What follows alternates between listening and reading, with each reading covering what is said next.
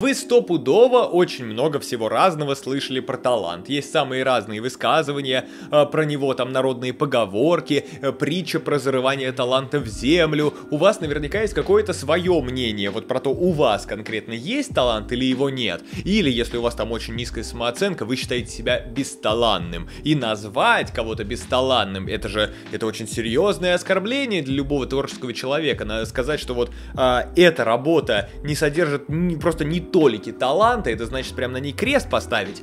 Но что это значит в прикладном смысле? Действительно ли важен талант? Что, без него ничего сделать нельзя? В этом разговоре нету лучшей иллюстрации, чем история потрясающего Дэйва Мастейна.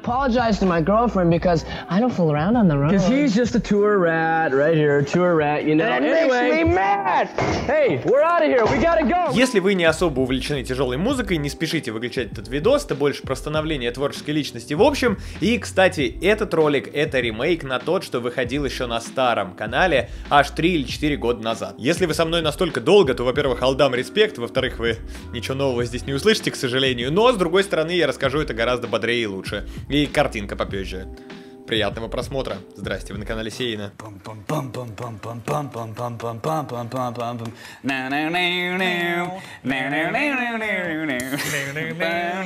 Дэйв Мастейн совершенно легендарная фигура. Человек, который играл в Металлике, основал группу Мегадет, играет в ней до сих пор, победил рак, имеет рекордное количество пройденных курсов наркологического диспансера и огромное количество историй про его бурную молодость молодость. Собственно, персона настолько легендарная, что даже в русском интернете до сих пор существуют тематические сообщества, которые разбирают конкретно мемы из его биографии. Бля, ты, мать его, молодец! Хэтулу пизды дал, блядь! Блядь, сука! То есть, как бы, львиная доля контента группы построена на байках из 90-х, которые происходили вообще на другом континенте. Паблик типичный Дэйв Мастейн, респект, всю жизнь вас котировал. Помимо этого, он в разное время признавался самым быстрым гитаристом, самым мелодичным гитаристом. Вот просто как только его не называли, он абсолютно икона также и гитарного мира, и вот он, ну явно ведь обладатель таланта. Но вот даже просто видосы, как он на гитаре играет, ну ведь воплощение одаренности. Давайте углубимся в историю. У него была небогатая семья, они часто переезжали, отец был алкоголиком, бил мать, в общем там э, такое тяжелое, грустное детство. И в какой-то момент на день рождения маленькому Дэйву дарят гитару. И вот казалось бы здесь должно начаться вот это вот красивое путешествие его в мир музыки. Но нет, эту гитару разбила его сестра ему же об голову, когда они там вот что-то не поделили. И тогда гитара Дэйва совершенно не привлекла. Будущий вот гениальный гитарист обошел стороной инструмент, решил не. Собственно, пока не появилась более интересная мотивация, а это конкретно в более старшем возрасте. Он уже не жил с родителями и работал барыгой. Да, вот здесь э, плашки, все запрещено, одобряем, а не одобряем, точнее, осуждаем, э, полностью ликвидируем мы против наркотиков. Наркотики плохо, но исторические факты есть исторические факты. Он толкал траву, потому что мало чего умел. Вообще-то говоря, вообще ничего не умел. А, и, собственно, также происходили его первые знакомства с музыкой, просто а, была у него знакомая, которая обменивала ему пластинки на траву, и таким образом он знакомился со всем самым свежим и крутым, в том числе, а, например, Джудас Пристом, про эту группу и конкретно ее солиста. У меня есть, кстати, крутой ролик, очень рекомендую его посмотреть. И вообще Джудас Прист стал вдохновением для всех, наверное, тогда еще зарождавшихся только трэшеров, и в том числе для Мастейна. Он научился играть на гитаре для чего? Для халявных наркотиков и телочек. Это не образное выражение и не моя додумка, это он сам так говорит. Ну и честно говоря, это не удивительно. Ну то есть большинство э, музыкантов, да, которых вы знаете, особенно, э, ну вот таких вот эпатажных, как там те же металлисты, короче, все, кроме каких-то академических чуваков, э, они начинают этим заниматься, ну вот там лет в 20. Честно говоря, странно ожидать от 20-летних, как правило, еще и бедных чуваков, каких-то высоких мотиваций. Ну вот, ну вот даже вы сейчас, потому если вот вам 20 лет или меньше того, тем более, а, получаете какое-то образование, у вас что, какие-то вот прям высокие мотивации? Но и у Мастейна тоже не были. Он начал играть на гитаре и оказался в этом весьма и весьма неплох. Э, сначала он играл в малоизвестной группе Poison, это, честно говоря, не важно. Важно это то, что в какой-то момент он увидел объявление в газете, что разыскивается гитарист в группу Металлика. Тогда у Металлики не имелось какой-то глобальной славы, но именно среди а, тогдашней тусовки о них многие знали. И все-таки это было не, а, не совсем пустой звук прийти на прослушивание к Металлике. Мастейн туда заявился. И если вы когда-нибудь видели, как гитаристы вот подключаются и настраиваются, вы знаете, что а, перед тем, как непосредственно начать играть, им нужно минут 20 минимум для того, чтобы подключиться и делать свои вот эти просто играть какие-то рандомные куски, вообще кое-как связанные, просто то, что им сейчас на ум приходит, они вот херачат по струнам.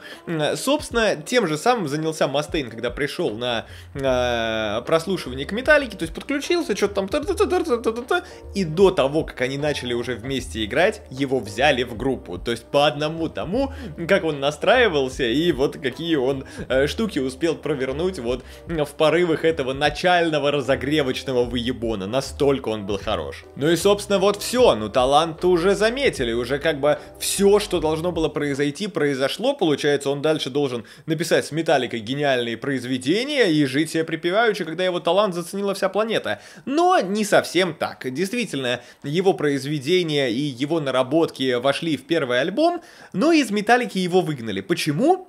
Потому что он был неадекватным наркоманом. То есть просто была известная история, как Мастейн отпиздил Хэтфилда за совершенно абсурдную херню, типа там а, собака Мастейна встала и поцарапала машину, они начали друг на друга выебываться, Мастейн его отхерачил. Ну и в принципе всегда Мастейн находился в каком-то совершенно непонятном состоянии. Ах да, почему у него собственно были собаки? Потому что собаки дома охраняли его наркоту. И был он настолько невменяемым, что сама история его изгнания была такая, что они ехали в грузовике, то есть это не крутой то, туровый автобус, а такой э, ебаненький грузовик, в котором оборудование, и прямо на оборудовании сидят музыканты. И э, по заранее принятому плану они в какой-то момент пути просто берут, останавливают грузовик, будет Мастейна, который спал вот э, вместе с ними ехав, э, выставляют его вместе с комбиками прямо на дорогу, и он, вот как типичный музыкант с какой-нибудь открытки, э, с гитарой и комбарями, остается и глотает пыль уезжающей машины. И вот так они распрощались. И вот снова чуете, да, как не получается красивой истории про талант, но, допустим, можно сказать, что типа ну, э, у него был просто такой херовый характер, что э, никакой талант здесь не поможет. Э, в тему этого в Металлику также проходил прослушивание Лес Клейпл, будущий, э, ну, совершенно гениальный басист и будущий основатель э, и лидер группы Primus. Э, и его тогда не взяли, сказав, что он слишком хорош. То есть, типа, что в Металлике э, нечего играть с твоими скиллами, и вот это решение было, кстати, очень полезное, потому что, возможно, мы бы не увидели кучу прекрасных произведений, если бы э, Клейпл был заперт в рамках Металлики, вот тоже в тему одаренных людей. Но возвращаясь к Мастейну, собственно, недалеко от места, у которого его выкинули, он снял себе жилье а, и жил с мыслями о месте, как вот из Пинки и Брейн, это э, старшая мышь, а, и, собственно, думал, что делать дальше, думал сколачивать группу в какой-то момент э, он заметил, что под ним живет басист и постоянно гоняет разные партии. Ду-ду-ду-ду-ду-ду-ду. Э, он мешал ему спать, и э, в одной из ужасных вот э, пробуждений от бас-гитары, особенно нужно учитывать, что там часто и наркотическое, и алкогольное похмелье, поэтому можно поверить, что это была страшная пытка, он э, с криком разбил свой цветочный горшок об балкон ниже. То есть он его вот так вот херанул с криком «Заткнись!» И так он познакомился со своим будущим бас-гитаристом. Его тоже звали Дэвид, только Эллифсон. А, и, собственно, из-за того, что у него такое же имя, он получил кликуху Джуниор и носил эту кликуху вплоть до момента, пока его из Мегадета не выперли, а это было, блядь, в этом году. Там очень ебанутая история, очередной секс-скандал, неважно. Суть в том, что вот таким случайным образом он познакомился с э, членом группы, который будет вместе с ним еще десятки лет. Тем временем у Металлики уже уже выходит первый альбом, Мастейн в ярости из-за того, что в части песен слышны его наработки и слышно, что это его, но, естественно, ничего ему э, не полагается, ничего не присуждается. Ребята из Металлики говорят, все-все-все, ручки чистые, отвали от нас.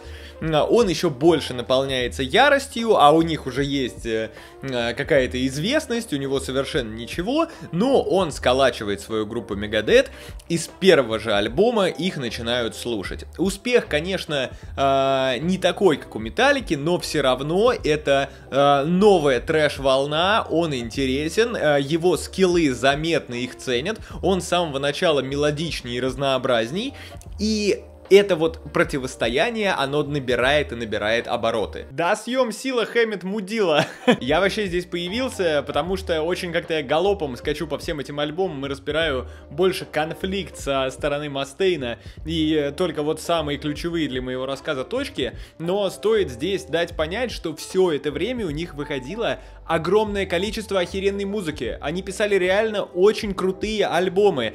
И между событиями, которые я описываю, э, вышло по несколько с каждой стороны, и они имели все разный статус культовости. И то, что вы сейчас видите на экранах, это далеко не полный перечень того, что успели сотворить эти люди в те замечательные времена. Собственно, в этом и будет основное откровение, которое э, случится с э, и Металликой, и Мастейном уже во взрослом возрасте, в том, том, что да все это время они жили охерительные жизни.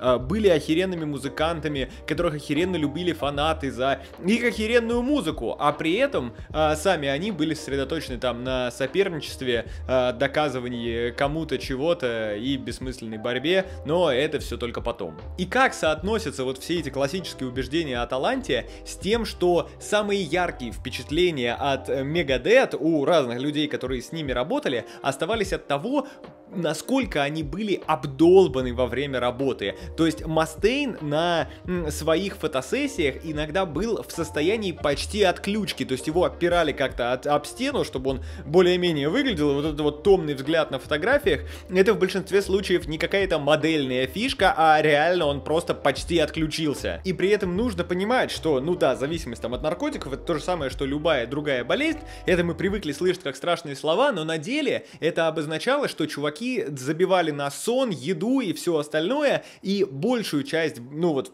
просто все свои бабки тратили на наркотики, и дело не в том, что им не хватало на еду, то есть такое тоже бывало, но м, они чем дальше, тем более богатыми становились. Им было похер на еду. И, например, когда они писали вот Countdown to Extinction, про который дальше пойдет речь, они тупо закрылись на реп-базе, питались исключительно чизбургерами, а, и все, что они делали, это писали музон, писали музон, когда уставали писать, играть, выходили во двор, э, кидали мяч в кольцо, возвращались, писали музон. И все это почти не жрамши, постоянно под наркотой. И если вам сейчас э, этот образ жизни кажется крутым, то это вы просто молодой, еще э, мало гастроэнтерологу ходили. На самом деле, сами они в этот момент находятся в ужасном состоянии. Но даже с такой дополнительной нагрузкой они просто на ребазе, как бы на лету, создавали совершенно шедевральные вещи. У меня там в закрытом паблике уже, наверное, по 103 с Мегадетом с подборками точно было, и после этого видоса также э, выйдет подборочка лучшего из всей четверки трэша, что я нарыл для себя в последнее время. Я то у Слеера, то у Метлы продолжаю находить какие-то вещи в старых релизах, там благо есть где покопаться, которые я для себя открываю, такой, нифига себе, как я этого не слышал до этого. Все это и многое другое в моем закрытом паблике, в котором сидят мои патреончики, за счет которых я живу. Они соревнуются каждым новым релизом, фанатские базы начинают даже разделяться, одни за Металлику, другие за Мегадет. А, у Мастейна выходит альбом Countdown to Extinction, который, например, мой самый любимый, а, и он занимает вторую строчку в билборде, это очень высоко, это значит очень большой интерес к релизу, но первую строчку в этом рейтинге в тот момент занимает Металлика. И каждый раз происходит это опережение. Мастейн каждый раз отстает. За это время трэш успевает расплодиться, очень много появилось разных групп с разных стран и континентов, и выделяют из них именно в отдельных родоначальников и просто, ну, королей жанра а, четверку трэша. Это Металлика, Мегадет, Слеер и Антракс. А, и, собственно, что Slayer, что Anthrax обладали своей как бы специфической направленностью. Если Slayer, блин, я вообще про них хотел бы отдельный ролик сделать, они, кстати, тоже очень круто иллюстрируют эту же мысль. Ну и что у Slayer, что у Антракса звучание специфическое. Мегадет это вот такой классический трэш, а Металлика, она как бы путешествует по атмосферам. Просто через один альбом Металлики ловят какое-то бешеное непонимание со стороны одних фанатов, а со стороны других, наоборот, дикое одобрение. Металлика меняет жанры, говорит новые слова в металле. Мегадет делают отборную трэшанину. Они вот совершенно шли по двум разным путям, а, и, собственно, если а, углубляться конкретно, то Металлика своими разными релизами, по сути, порождала целые направления саунда. Ну, понимаете, когда что-то главенствующее, это как бы вот ледокол, а, который своими поворотами дальше определяет движение всех, кто пойдет за ним. Тем временем Мегадет продолжают быть иконами жанра, у них там в общей сложности что-то 14 или 12 номинаций на Грэмми было за все время, притом выиграли они его только вот совсем недавно, вот э, буквально там пару лет назад, но это не важно, важно то, что за все это время они стареют притом в смысле вырастают и становятся умнее и как бы, ну, разумней. А, например, у Мастейна в какой-то момент, а, это вот реально звучит как какое-то, какое-то бабушкино такое предостережение, что будешь много трясти башкой на концерт, у тебя, мол, шея отвалится. Ну, так у Мастейна реально начались проблемы с шеей, то есть из-за постоянной тряски головой, а, у него там начались какие-то жуткие зажимы, он долго сидел на обезболах, в какой-то момент а, сидеть на обезболах стало стало уже невозможно, и он лег на опасную операцию, которая не факт, что закончилась бы успешно, то есть это было волнение для его и всех остальных, и вообще такой определяющий момент. Суть операции была в том, чтобы э, зафиксировать его металлические пластины и болты вот э, в шее. Э, она в итоге прошла успешно, все нормально, но из-за этого у него понизился голос. То есть он, в принципе, заново учился как бы и петь, и, в принципе, издавать звуки, но в итоге получившийся результат был ниже, чем э, все его предыдущие записи. И с того момента Мегадет понизили строй всех своих песен до этого, то есть они все на концертах ниже играются, и все будущие альбомы Мегадет э, также, собственно, были на тон ниже. Э, и вот это звучит как жертва именно настоящего маэстро для своего ремесла, который вот был... Э, э, в ужасном состоянии, потому что мог его лишиться, и после этого он пошел на жертву, чтобы продолжать заниматься любимым делом. А начинал он его, чтобы нравиться телкам и курить траву. Как и я уверен, все в четверке трэша. Собственно, спустя годы все они помирились, и Мастейн с Металликой, и они там всей четверкой выступали, это все красивая, красивая, классная история. А, Металлика там пережила просто невероятные взлеты и падения, всех попереворачивала в жанре. А, но что мы имеем в итоге? В итоге Металлика не выпускала альбомы супер долго после этого выпустила вот этот Hardwired. Конечно же, фанаты опять недовольные. А, есть там пару песен, которые крутые, и лично мне... Э, ну, я, в принципе, не так скептичный, я не такой фанат Металлики, что, э, пару новых песен мне прикольно, в принципе. Но он, как и остальные, был раскритикован, и а, просто вот эта вот планка жанра менятеля э, и вот их бэкграунд, он, мне кажется, является основной причиной, почему Металлика себя в творчестве не чувствует э, спокойно и вольготно, плюс, э, опять же, в тему реализации творческого потенциала, э, нет, наверное, гитариста несчастнее, чем тот, кто пришел на замену Мастейну. Э, его пинали просто все, кому не лень, естественно, всегда сравнивали с Мастейном. Кирк Хэммит это просто один большой анекдот для всей э, металлической сферы, он на самом деле, ну, он не так плохо играет, да, как его малюют, э, но прикол есть прикол, пошел, э, он уже пошел, его уже не остановить, и особенно это подпитывают реальные факты, как, например, э, реальные моменты, когда Хэтфилд не допускал его к записи альбомов и записывал все сам. И то есть они как бы сознательно держат у себя херового музыканта, за которого они играют. То есть понятно, что это все очень неоднозначная история, но вот как бы такое всплывает, и как еще фанатам к этому относиться. А зато Мастейн спустя годы пишет, у него не было именно такого давления, конечно, многие говорят, что он скатился, но последний альбом был довольно-таки неплохой. Из выпуска э, предыдущего ролика моего Мастейн успел обнаружить у себя рак, победить рак в, ну, в конкретном таком возрасте. И сейчас идут сливы о том, что выходит новый альбом скоро у них. И что он вот уже готовенький. И он снова поедет с турами. И снова дропнет альбом.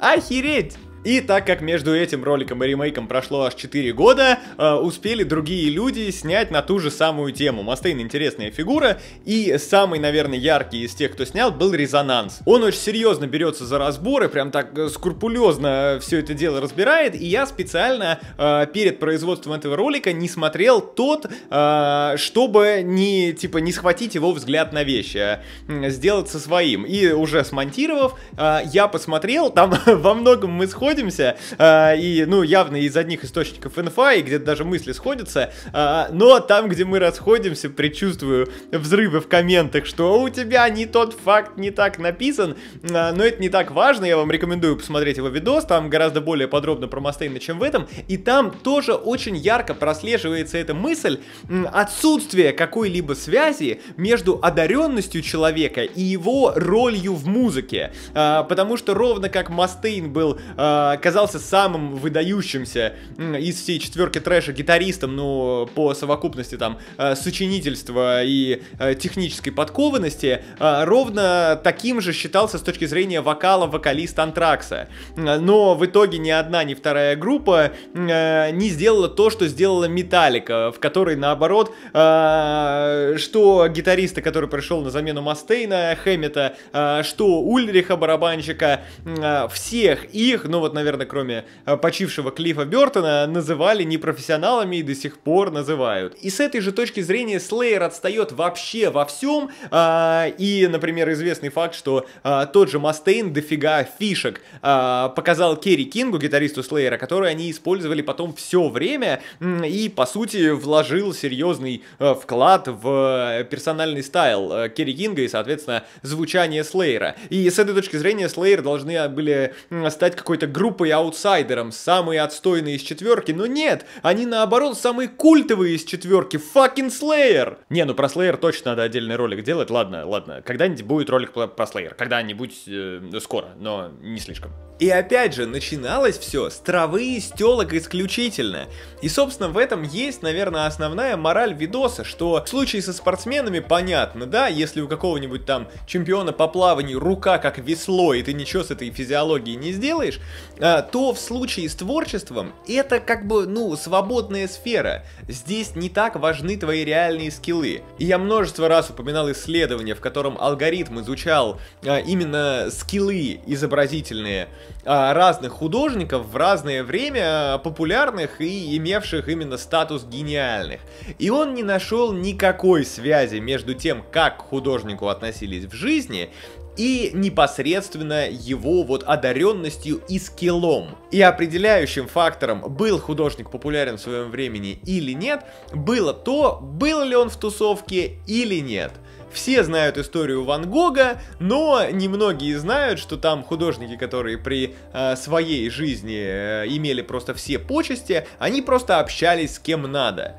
И то же самое относится к самым разным творческим сферам. То есть одно дело художественная тусовка 200 лет назад, другое дело время с интернетом. Поэтому я предлагаю вам эту, как и остальные мысли и стереотипы про предопределенность всего, что вас ждет и с вами происходит, оставить вот подальше, выкинуть на помойку и работать, работать и еще раз работать. Чтобы работалось приятней, могу вам предложить охеренный, скопленный годами нами архив музла, книжек, э, фильмов и всего остального, э, который является моим прекрасным закрытым пабликом, уголок секретных маразмов Сейна. Вход туда 5 баксов через Patreon, инструкция в описании. Э, если 5 баксов нет или уже подписку оформили, мои любименькие, э, то перенаправляю вас в свой замечательный инстаграм или в замечательный инстаграм движение ебанарт. Не знаете, что такое ебанарт и ебаназия, так вы всю жизнь пропустили, вам быстрее надо смотреть, что там. Вот, в принципе, э, в конце допизделся, что еще? Ах да, а!